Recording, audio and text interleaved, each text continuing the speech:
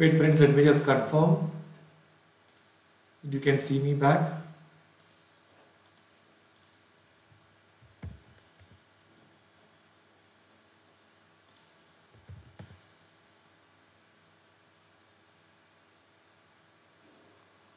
EPS, can I find out what is going to be the total rupees per share? Okay, so once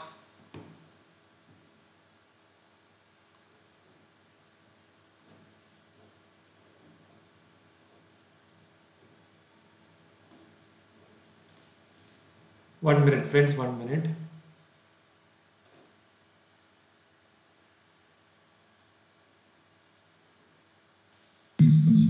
Okay, so once all right friends i think i think you all can see me now am i right? Please confirm that you can see me.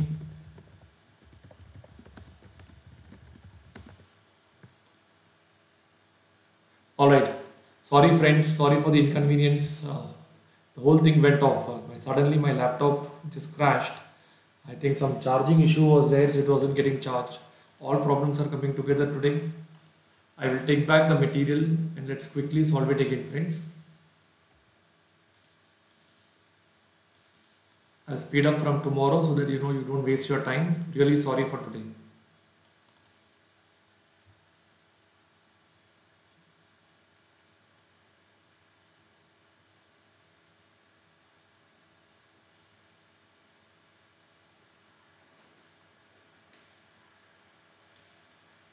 So we were doing question number 17, right?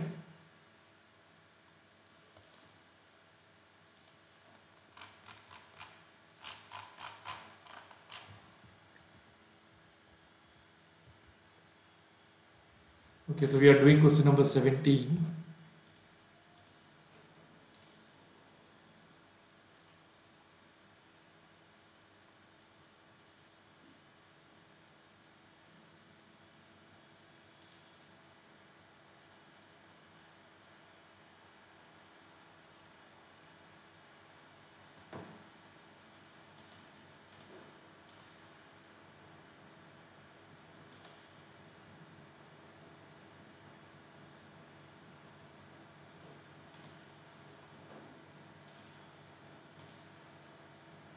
Alright friends, I'll do it quickly now once again. All the data has been lost on the board.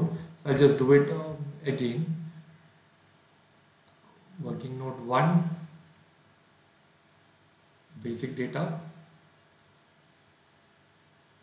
particulars, we had efficient and we had healthy. Okay.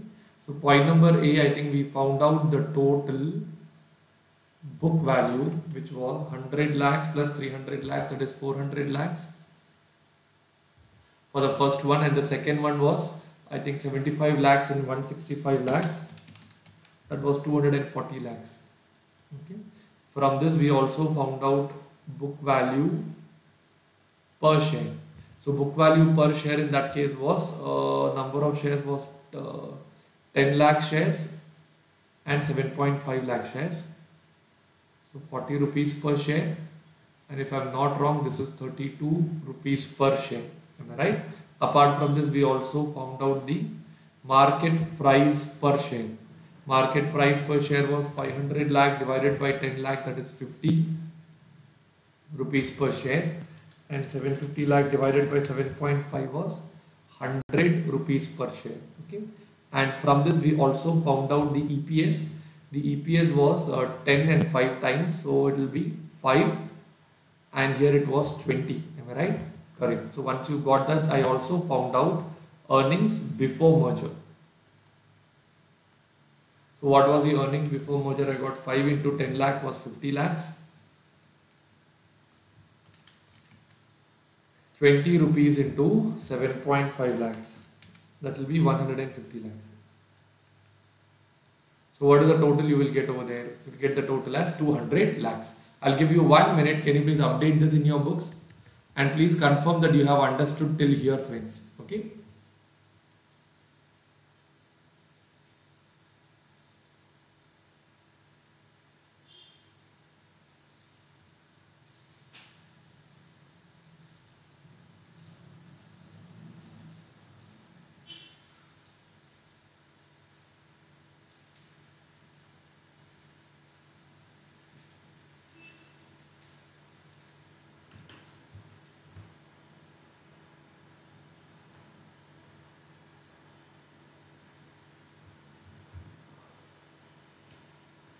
Alright, I'm going to the next part now. Okay, I'm going to the next part now. So once we are done with the first part, they have given promoters holdings also over here 4 lakh 75,000 and they have given 5 lakhs. From that we can actually find out promoters shareholding before merger.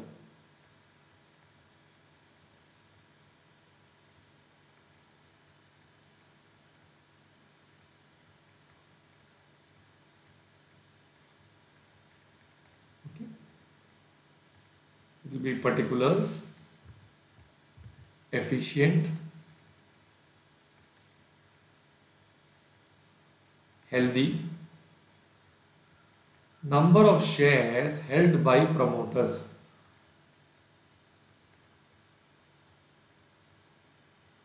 So what is the number of shares held by promoters? 4.75 lakhs and the other one is 5 lakhs. Okay. Point number B, total number of shares. Is it 10 lakh shares and 7.5 lakh shares?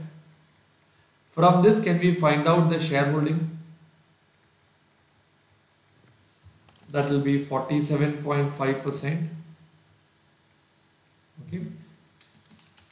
And here it is 66.66 percentage. All right. Can you please put up till here in your books now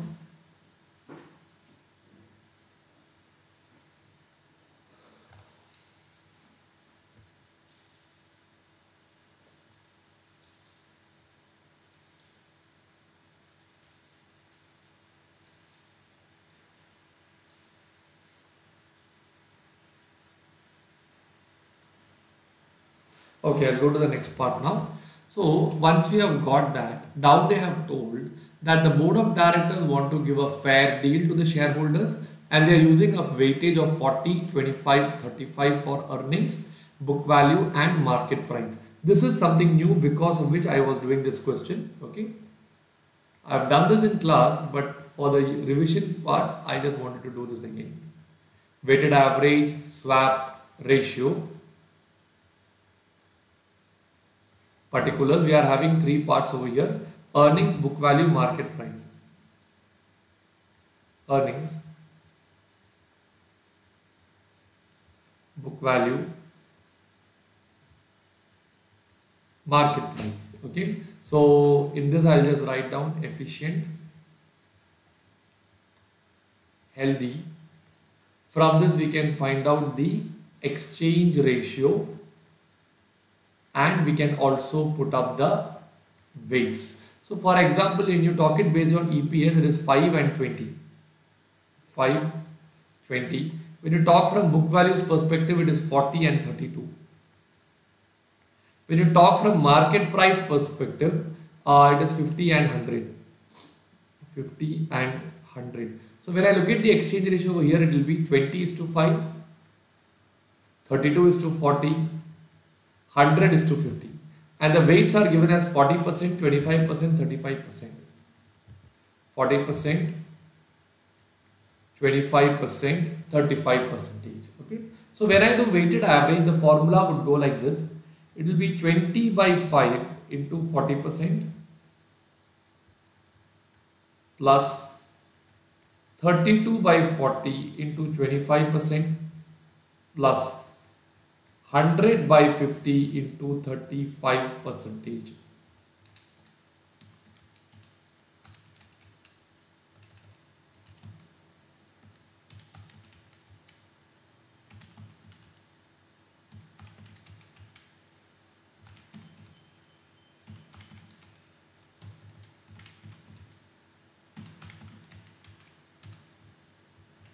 What is the total friends? 20 by 5 into 0.4 that is 1.6 32 by 40 into 0.25 is 0.2 I should get the answer as 2.5 is to 1 can you please write down this in your books which means for every one share of healthy efficient will give. How many shares efficient will give? 2.5 shares. Can you write down till here and finish it off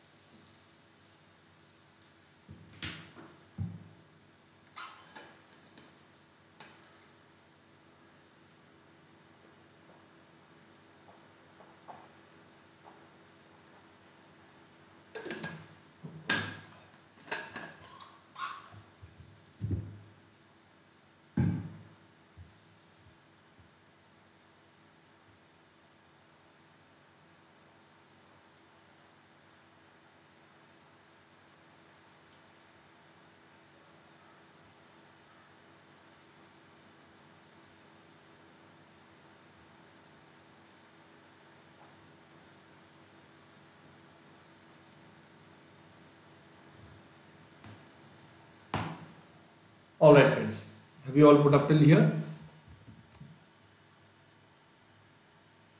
Okay, you have got that answer, Sriram. 2.5 is to 1. Excellent, Sriram. You're, you're very quick. Keep it up. I'll go to the next part now. So I've got the swap ratio and they're asking you to find out promoters holding after acquisition. Alright.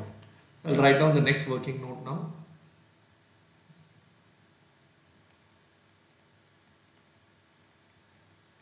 Promoters holding after acquisition.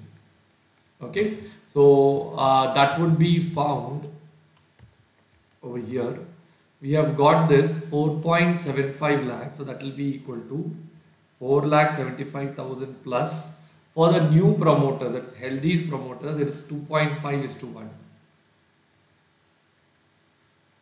whole divided by total number of shares after merger. Total number of shares after merger will be also 10 lakh plus 7.5 lakhs into 2.5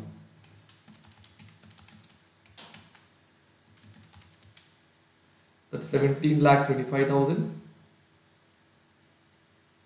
divided by 28 lakh 75,000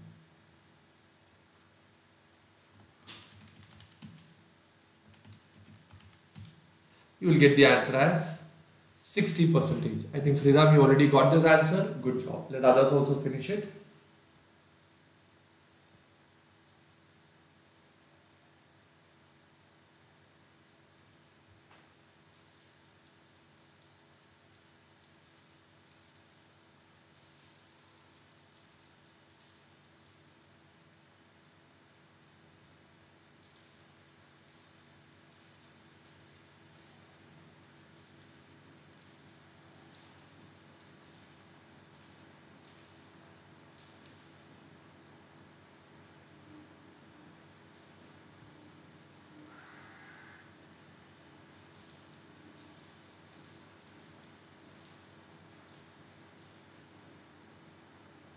Alright friends, I believe you are all done with this part. I'll now go to the next part now. They're asking EPS after acquisition. So I'll write down the next working note. EPS after merger. Okay. That will be total earnings after merger. So how do I find out the total earnings after merger? It is 200 lakhs. Both the earnings will be added up. So it will be 200 lakhs divided by number of shares after merger. Number of shares after merger is how much? 28 lakh 75,000. So you will get the answer as 6.95 rupees per share. Can you please write down till here in your books? Excellent Sriram, you have got the answer. Let others also finish it. I believe they are asking for MPS after merger also. So I'll just find that out here. MPS after merger will be EPS into the PE ratio. So you will get the answer as 65, 69.5 rupees per share. Can you write down this?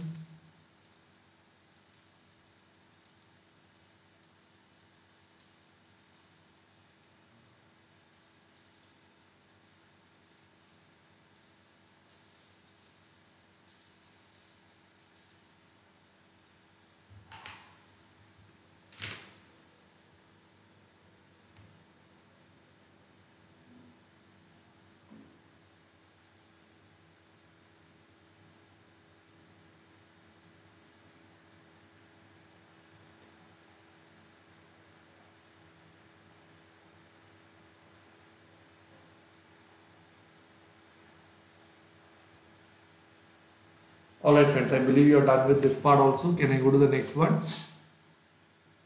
What is the expected market price and market capitalization after acquisition, assuming that PE ratio does not change? Okay, they are asking you to find out the free float market capitalization. Alright, so friends, uh, I'll just write down the next working note.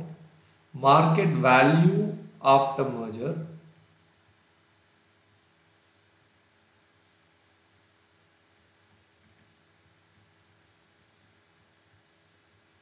into the number of shares. What is the number of shares? 28 lakh 75,000.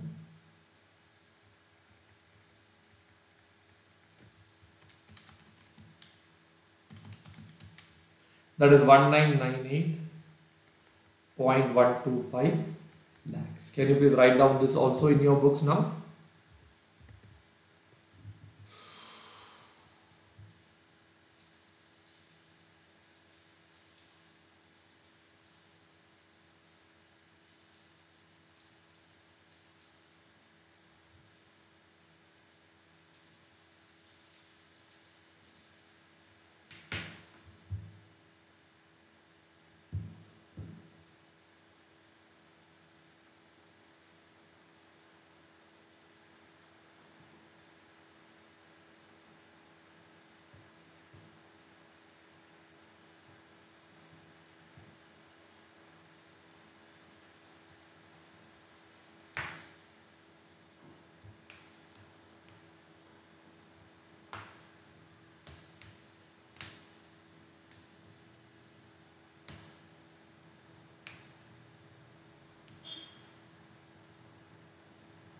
Alright friends, have you all put up till here in your books now? Yes, alright, everybody is clear. Now yes, final working note is free float market capitalization. So as you told 60% is the promoter's holding. So the total market value which we have got the answer as 1998 lakhs. Okay. Point number B free float one minute friends.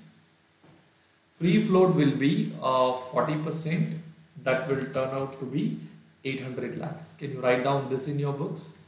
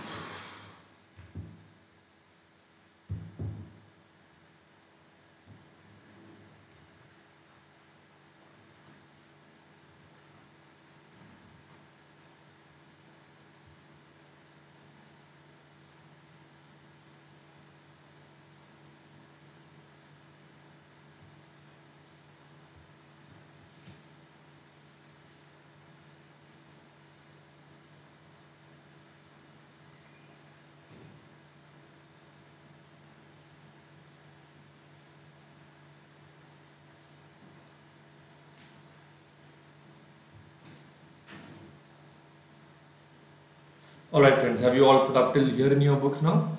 Okay. So I believe we are done with uh, this question friends. Let me just check which is the next question. Friends, Abhiman Swabhiman is exactly the same. We have done the same question in class. I wouldn't be doing that again. Right. E and H is also exactly the same. Swap ratio, promoters holding, everything exactly the same. Abhiman, Abhishek also exactly the same. So you can all do this as homeworks but we don't need to do these questions in class. Next, we have to do this question. This is slightly different, T limited and E limited. Unfortunately, we couldn't do it uh, today. Today, my laptop hanged and a lot of issues happened, friends. So let's do this question tomorrow morning. Okay, I'll go a little faster tomorrow. Whatever be it in the coming three to four days time, we have to complete mergers at any cost. All right. So friends, I'll pack up today's session. But before I leave you, as I had told you, we were talking about this book think and grow rich. Right? In this book i told you the first and the most important point was called as visualization. Right? That is step number 1 which this book is very clearly mentioning. Second part what this book mentions is that alone if you have a visualization that will never help you to achieve whatever you want to achieve. Second thing is we must write down the result in a particular piece of paper and you should keep that paper with you. For example, I always carry with me chits like this and I always write down in this what exactly I want in my life. That is very important. So suppose if you want to become an All India rank holder, you should have a paper in which you should write down that this is one of my wishes that I will achieve All India rank 1. Or you can write down one by one below this the marks that you're expecting. For example, you would say for XFAR I will get 60, for SFM I'll get this much, this much, this much, etc. This writing is very, very important because it's not just visualizing something will help you to achieve your results. Visualization is step one. Visualization is important because this triggers your subconscious mind. It gives you the feel that yes, I can do it. But once you visualize, step number two is you have to put down the results what you have to achieve. For example, as I have told, let us say you will say that for SFM I want to score 70 marks. That result you should see every day written on a piece of paper and then based on that you should also write down what is the input required by you. Input is basically a price that you have to pay, the sacrifice that you have to make which will justify you getting this 70 marks. Suppose you sit and visualize, I will get 70 in SFM, 70 in SFM, will you get it? No. But after you visualize that you have to get 70, you write down on a piece of paper, then you write down that if I cover the last five suggested answers, if I cover this, if I cover this, if I cover this, all these things if I cover, I will get the 70 marks and then you work hard and you achieve this. If you do this, why will you not get 70 marks? Because now subconsciously you will tell that yes, I have worked so hard, I should get 70 marks. Your subconscious mind will suddenly accept that okay, this is what I should do. I have done it. Why should I not get the 70 marks? I truly deserve getting the 70 marks. And if you get the 70 marks, automatically what happens? You achieve your step one, that is your vision. So friends, my, my, my message to all of you today is that once you have done your visualization, every day you see yourself becoming a chartered accountant. Step number two is to write down the results and the inputs on a piece of paper and view this daily. And after you do this, we go to the step number four, which is called as free your mind. Okay, this I will explain tomorrow. So let's pack up today's session with this, friends. Thank you so much. See you tomorrow morning at 7 o'clock. Have a nice time ahead. Thanks a lot.